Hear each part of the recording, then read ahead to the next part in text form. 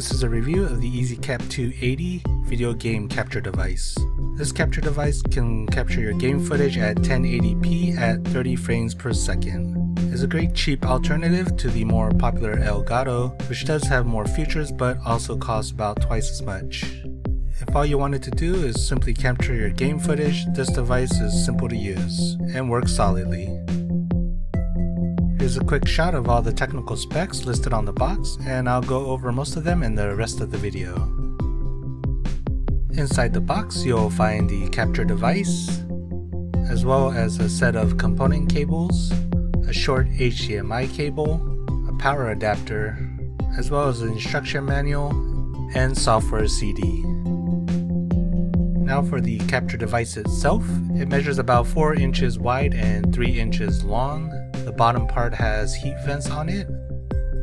Taking a look at the front, on the left hand side you have the USB host port and here you'll connect your flash drive or hard drive to record your footage on. It also has three ports with the line in and out as well as a mic port and on the right hand side you have your one touch record button and the LED status light right next to it and I'll go ahead and demonstrate that a little bit later in the video.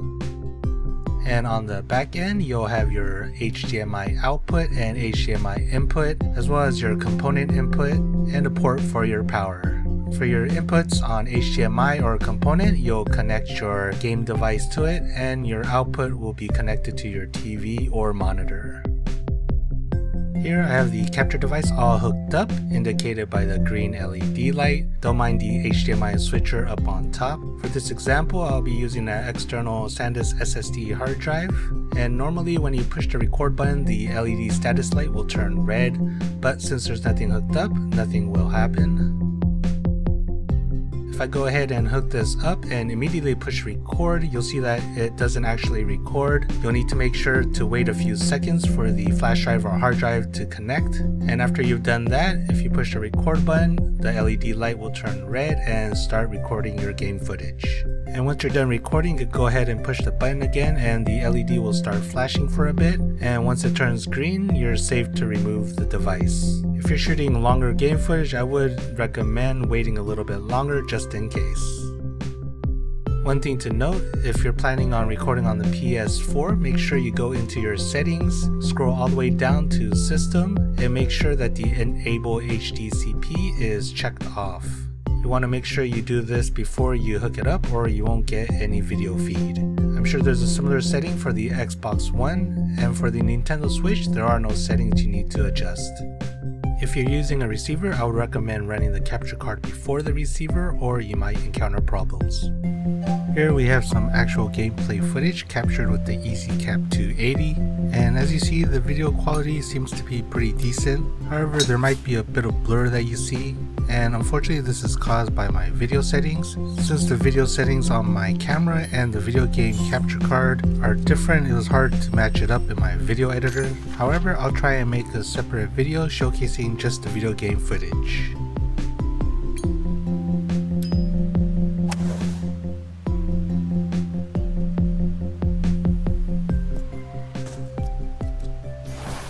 I'll be showing gameplay footage of a music rhythm game called DJ Max, and this will show that there's no lag when you run your video feed through the capture device.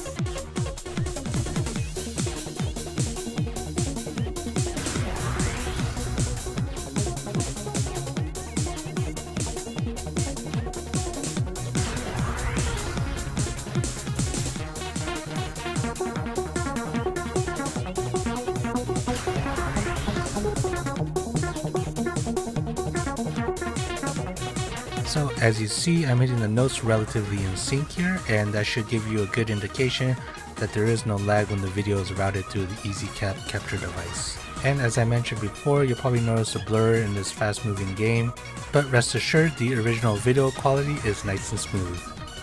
In the end, if all you require is 1080p at 30 frames per second, the EZCAP 280 is a great way to capture game footage. The price runs at roughly $60 and if you're interested I'll leave a link in the description below. As always, thanks for watching. If you enjoyed this video, please consider subscribing and leave a like or comment below.